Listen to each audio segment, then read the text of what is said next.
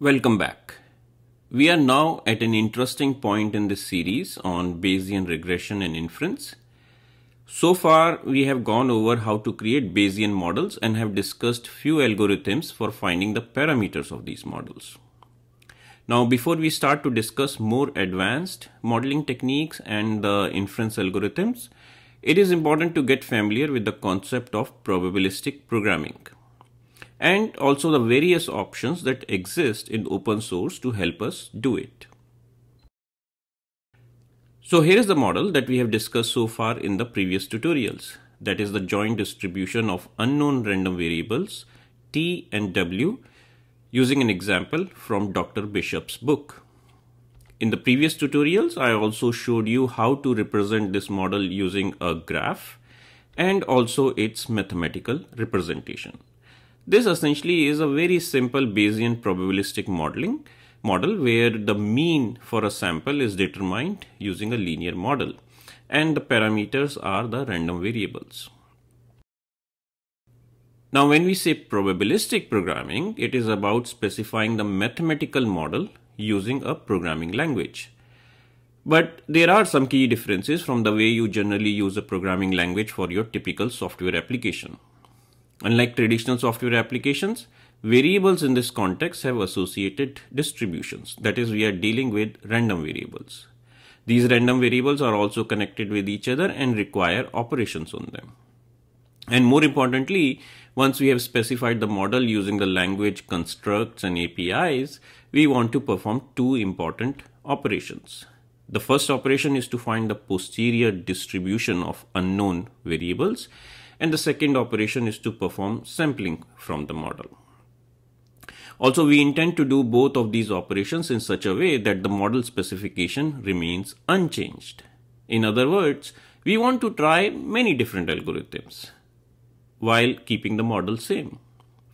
So based on what I have told you so far, one natural conclusion is that of course we need a programming language and a library of algorithms. But at the same time, given the fact that we have random variables involved and we have this desire to keep the model specification agnostic to the inference algorithms, should we think about having a dedicated or a specially designed programming language? In the space of probabilistic programming, one term that is often used is called PPL, which stands for Probabilistic Programming Language. But before I go any further with this term that is PPL, I want to first quickly clarify the differences between programming language and a framework. I'm sure I don't need to explain you what a programming language is. You also understand what a library is. A library is simply a collection of functions. That said, I have noticed that even seasoned software engineers sometimes have a difficulty understanding the notion of frameworks. Essentially, a framework guides and even controls how you specify your intent or your logic. In all the respective domains, whether we are talking about web application development, server side code, or desktop or mobile applications, most of the time we end up using established patterns and practices. And a framework helps you specify your intent using these well-defined patterns so that you get the benefit of writing code more effectively and efficiently. A framework also takes care of repeated but required tasks for you. As an example, consider writing a server application. And if you're using a framework like Flask or Django or Express.js, you most of the time just specify the function that should be called when the user goes to a specific URL or a specific endpoint. You typically you do not worry about how the server app received the HTTP request and more importantly how the underlying framework routed it and or even generated the HTML to be returned to the browser. A good framework also always offers extensibility points so that you can implement new features and or even overload existing behaviors. Most of the time for a framework to do its job, it uses advanced language features like introspection or reflection and it even can do runtime code generation. Since the framework sort of controls and guides how you write your application, it is bound to be opinionated Opinionated here means that the framework's design is influenced by the experience and thinking of its creators. And since there are many ways to do the same thing, there is always an element of subjectiveness. Also, many frameworks come bundled with libraries and some do not. And now the reason I'm explaining this is because to specify your probabilistic program, you mostly need a framework that can do the heavy lifting for you to keep the specification of the model same, uh, whether you are sampling from it or finding the parameters using different algorithms. Unfortunately, the scientific community that works on Bayesian probabilistic modeling likes to call these frameworks PPLs or probabilistic programming languages. Maybe there is some historical reasoning behind it that I'm not aware of and and but I also think that this nomenclature or this term is not going to go away or change. But at least now you're aware of it. As such, out of all the toolkits that I'm going to review today, only one of them can be put in the category of a language, and it is Stan. Rest are really frameworks written in different modern high-level languages like Python and Julia. Now my intention here is to give you an idea of how a Bayesian model is specified using these various frameworks or PPLs. Clearly, I cannot explain all the details of these frameworks in one tutorial, but I am hoping that by the end of the tutorial, you would have a decent idea of which one may be suitable for you. I would also provide some recommendations to assist you in making the choices. And to do this, uh, exercise, I have selected a data set collected by Dr. Howell. It is a data set of demographic data from Kalahari Kung San, Kangsun people. Uh, you can see that there are four fields, height, weight, age and gender. And for our exercise, we will pick only entries for adults. That is where the age entries are greater than or equal to 18. The model for this data set is taken from Statistical Rethinking a book on probabilistic uh, modeling, Bayesian probabilistic modeling by Dr. Richard McElreath. Now, I have recommended this book in the answers to comments on various other tutorials on my channel as this is one of the best book you will read on this topic. Personally, for me, this book was instrumental in understanding this field and to this date, it remains the best book that I have read on this subject. It's a brilliant book by an extraordinary teacher.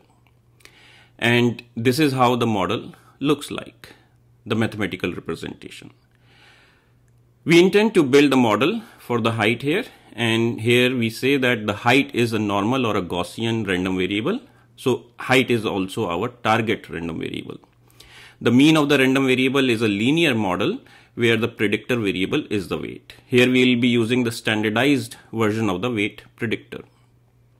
Since we are doing Bayesian modeling, we would treat our unknown parameters as random variables. That is the alpha, beta and sigma that you see here in these equations. They will be treated as random variables. Therefore, we will specify the prior on them. Prior on alpha is normally distributed with mean of 178 and standard deviation of 20 and prior on beta is a log normal with mean of 0 and 1. The standard deviation of height is also a random variable which is uniformly distributed. Again, we are doing Bayesian modeling. So the important thing to remember is that we will treat all our unknown variables as random variables. And if you have been following the tutorials in this series, by now this should all make sense. If not, then check out the previous tutorials in this series. As such, this model is very similar to one, one, the one on curve fitting example on synthetic data from the book by Dr. Bishop. And now we will see how this model is specified using various frameworks, sorry, PPLs. The first one is Stan. It is named after Stan Ulam. And in many ways, this is the only one which can be really classified as a language. Here is the workflow in Stan you specify your model in a text file. You can use an extension .stan, but it's a text file. And we will go over the syntax in a minute.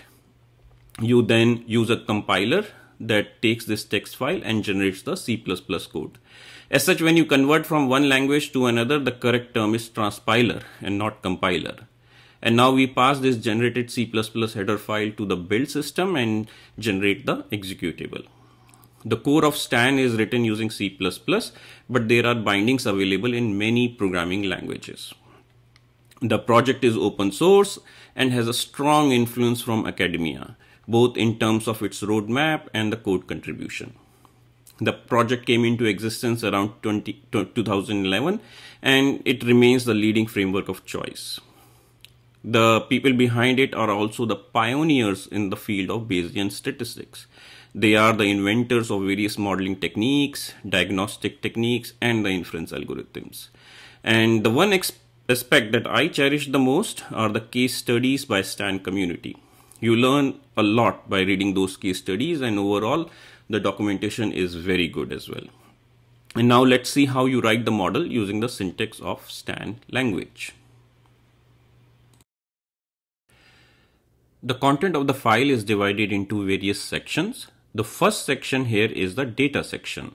You can see that here we have specified our data variables and the types for them. That is whether they are real or integer and also whether they are vector, vector variables or not.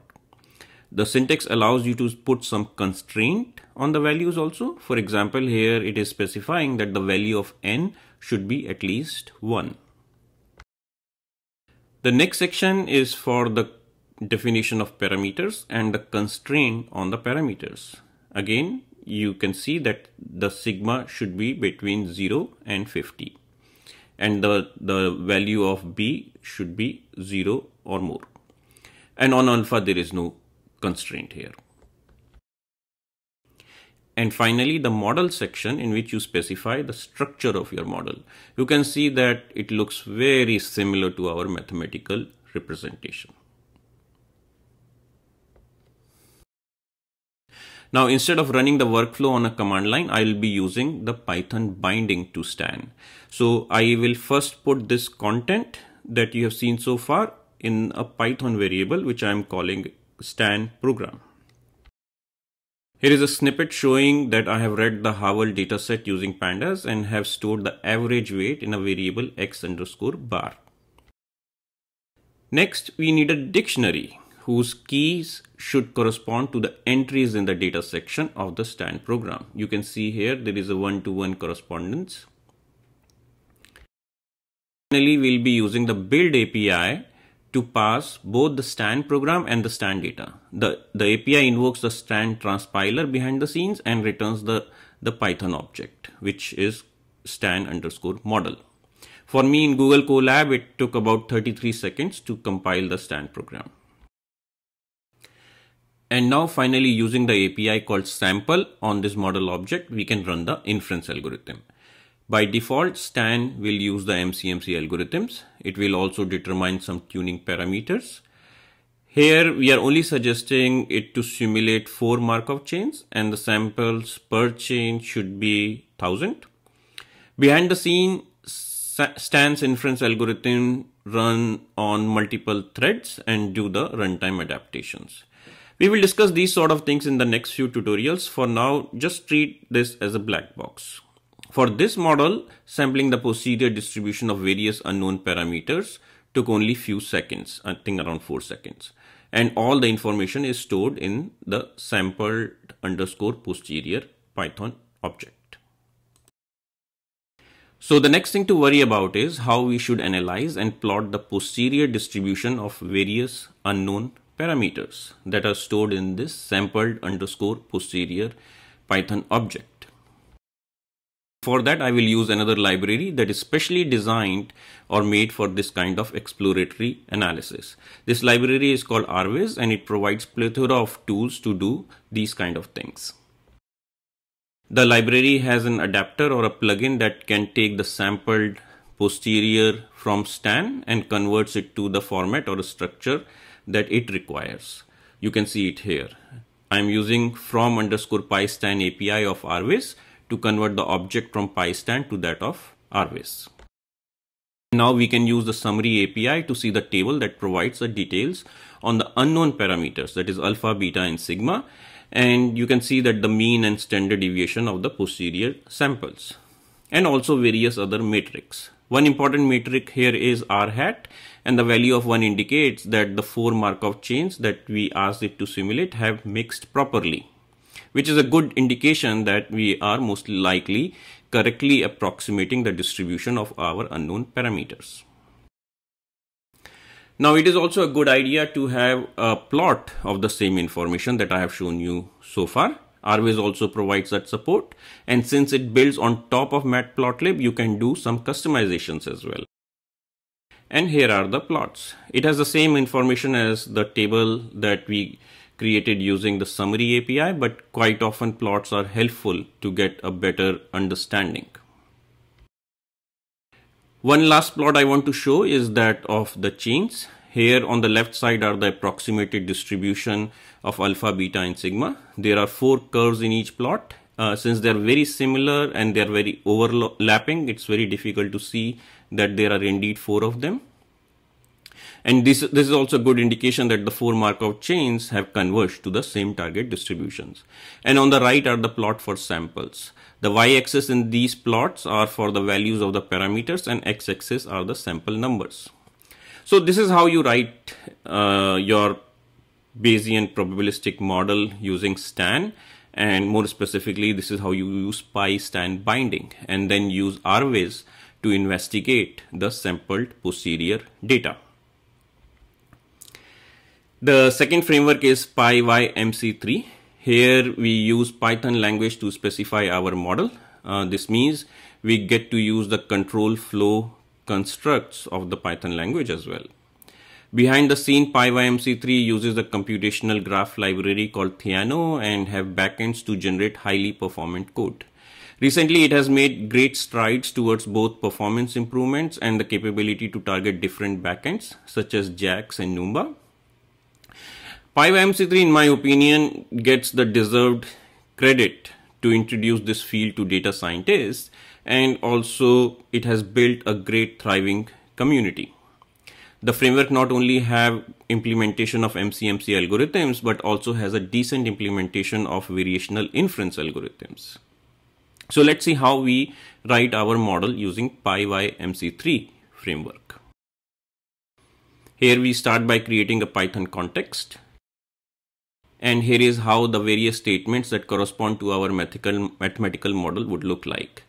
As you can see, it's a very clean idiomatic Python code.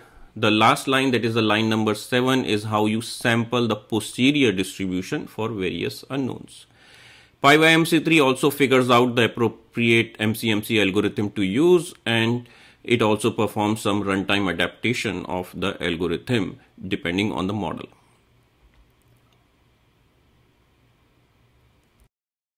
Here is how the run looks like. By default, it has used two chains for each parameter.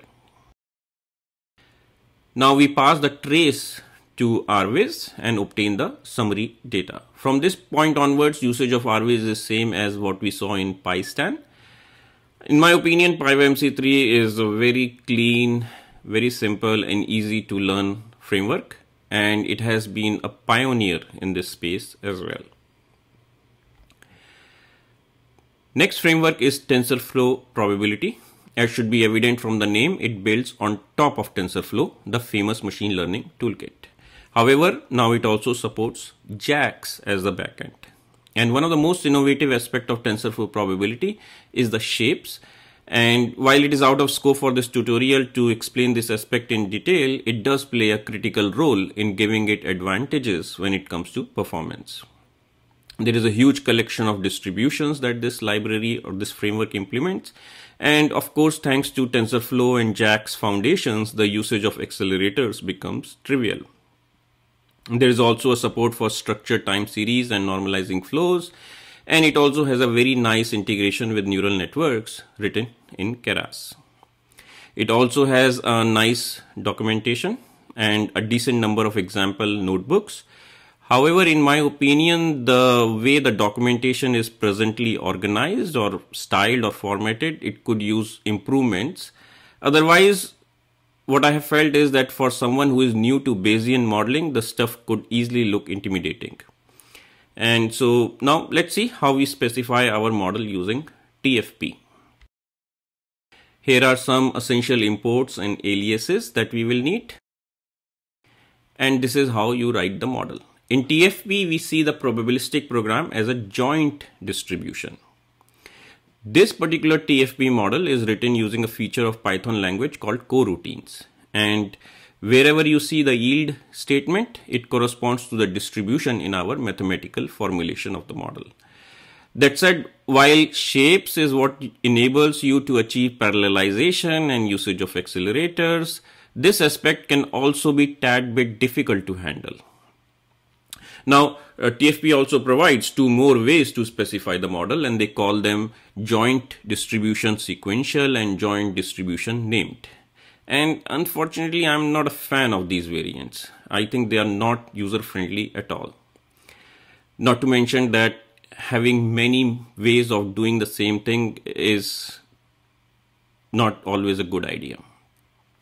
So a bit of a strong opinion of mine on this aspect here. Uh, but if you want to discuss more, you can ask questions on this in the comments, why I think so and or express your view on this aspect if you're familiar with TFP. And this is how we build the model object.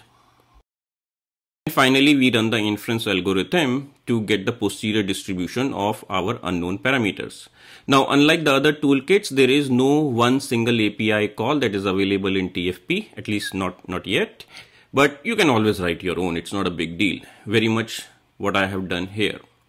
And this utility function also returns the result in the format of the data required by arviz. And therefore, we can now again use the summary API of arviz and display the information about the sampled posterior distributions of our variables. The next framework I'm going to discuss is an open source initiative from Uber AI. There are two projects as such. One of them is called Pyro that uses PyTorch as the backend and the other uses JAX as the backend. NumPyro uses JAX as the backend. The innovative aspect associated with both of these frameworks is the notion of effect handlers and was first described in this paper that led to the creation of an first an experimental PPL that runs in a browser. Uh, it would be a nice idea to go to this link and read more about it. It's really a great work. It also has the implementation of a lot of distribution and inference algorithms. On top of that, the best thing about these frameworks, both of them NumPyro, Pyro, are the various guides and the documentation that uh, this community has written. And I think the quality, the style of the content is the best amongst all the frameworks. Again, it's my opinion. Ironically, I do not use Pyro, but I have learned a lot from their guides and documentation. So I'm a huge fan of the people who write these guides. Truly a remarkable work. I will show you the code snippet for NumPyro. So here are the necessary imports. I'll be using the no U-turn MCMC algorithm. Here is how the model definition looks like. As you can see that it's very clean code. Uh, as such, the beauty and the strength of NumPyro and Pyro lies in the effective usage of effect handlers. Unfortunately, it is out of the scope for this tutorial to explain them. Uh, but I must say that depending on your background, the learning curve with Pyro could be more than that of PyMC3 and TensorFlow probability if you truly want to leverage its power and maybe create your own effect handlers. And here is how you would instantiate the algorithm for sampling the posterior. Personally, I like this API a lot simple, straightforward, elegant API for using the inference algorithm. And finally, there is also an adapter function that is available that can convert the sampled posterior to that of arviz format. And then we would use a summary and various other diagnostic functions to analyze the sampled posterior as we have done with other frameworks. The final framework or the toolkit or the PPL is Turing.jl, which is written using Julia programming language. If you do not know Julia, it's a relatively young programming language whose focus is on performance. And one of the things that Julia community quite often highlights is that unlike R and Python, you do not have to write or migrate the code that requires high performance to C or C++.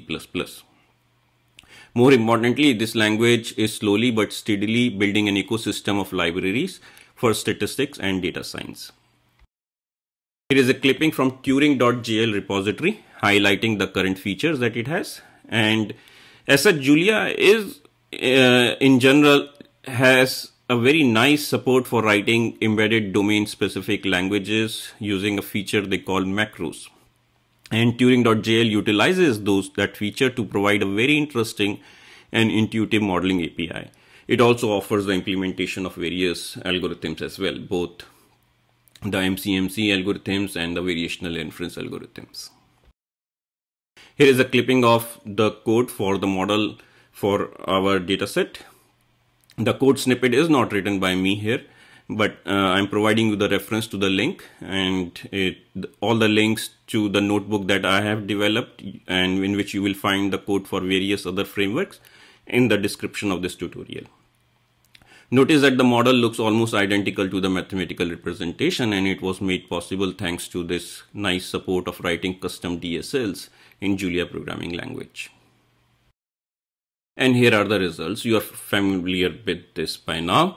By the way, arviz does have a support for Julia using the Python interoperability support provided by Julia language. Here in this code snippet, the author of this snippet has written some custom functions to display the analysis of sampled posterior. So it is not using arviz, at least not, not this uh, code snippet. So these were few famous PPLs or frameworks to do probabilistic programming. And it is natural for you to start wondering about which one to use. And the answer to this question is not very straightforward. And whatever I would suggest would be a bit biased. That said, I still want to give you some recommendations to help you a little bit with making a decision. Let's first see why you may want to use STAN. If you are a master's or PhD student, there is a very good chance that your professor or department at your university is heavily invested in STAN. Now, using STAN would help you have a good teamwork with that with your professor and other other classmates so this is one of the reason you would want to learn Stan in my opinion. And also if you have a statistics background, there is a very good chance that you your programming language of choice is R. At present, Stan and also some frameworks that build on top of Stan have a very good support for R. And finally, most of the famous books on this subject of Bayesian statistics and Bayesian modeling, uh, they do use Stan. So if you know Stan, it would be helpful for it will be helpful in understanding the existing literature. And my recommendation here is that you anyway learn STAN in addition to the final choice that you will make. It is anyway a good idea to learn about different frameworks and languages as it broadens your perspective and gives you more choices. So in simple words, learn STAN anyways. Next are the three Python frameworks that is Pyro, PyMC3 and TFP. You would want to select one of them if you have a data science background. Uh, maybe you want to integrate your probabilistic model along with some neural networks and there you would leverage of course some accelerators. But in my opinion, PyMC3 remains the simplest to learn. And by the way, simplest does not mean that it is less capable at the time of the, this tutorial, it is the leading framework in Python ecosystem and it is quite mature. But as I said earlier, if you want the integration with some neural networks written in PyTorch and TensorFlow, then maybe you should try Pyro and TFP respectively. And finally, Turing.jl is interesting if you are okay migrating to a new language. Now, love for programming languages is very subjective and personal and people form religions and cults around them. If you like Julia, then this may be a good choice, Turing.jl. But I must also warn you that at present, Julia does not offer a rich non-data science ecosystem. Even though Julia is a general purpose programming language, at least this is how it is presented, it does not yet have the same richness in terms of ecosystem in of software engineering libraries as Python has. And this brings me to the end of this tutorial. Now, one of the things that frustrates me is the duplication of efforts that happen in all domains of computer science and software engineering. Generally, this duplicated effort or efforts happen in the name of innovation. But most of the time, it is only about not invented here syndrome. But I must say that at least for these frameworks that I have discussed in this tutorial, they have tried to solve the problem from different perspectives and they also cater to different languages and the underlying foundations and frameworks are different. So all of them have my respects and I'm thankful that such a variety exists in open source community. Also, in my opinion, arviz is an excellent example of how a careful separation of features can enable code reuse and avoid duplication. So, a huge thanks to the community behind arviz. Also, you will find the link to the Google Colab notebook in which I have the code for various frameworks in the description of this tutorial. And that's it for now. I thank you for the time you spent here today and wish you good luck in your learnings. If you have questions, please feel free to ask them in comments. Bye for now. Goodbye.